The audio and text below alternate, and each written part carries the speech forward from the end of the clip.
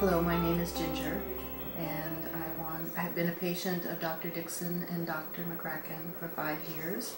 Uh, we moved here from California and we're looking for a dentist and have been very happy. My first experience was with Dr. Dickson. Um, I had a problem, called him on uh, a weekend. He returned my call and uh, was able to help me. After that, I've been seeing Dr. McCracken.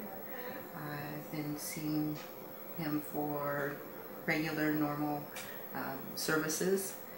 I did have a specific problem. I do have implants, and he was able to repair the work that was done. Been very happy.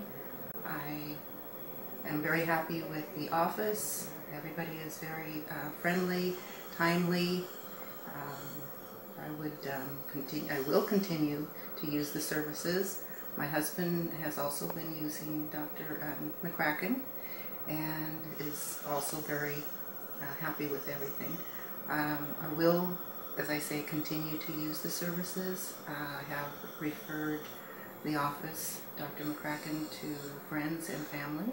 And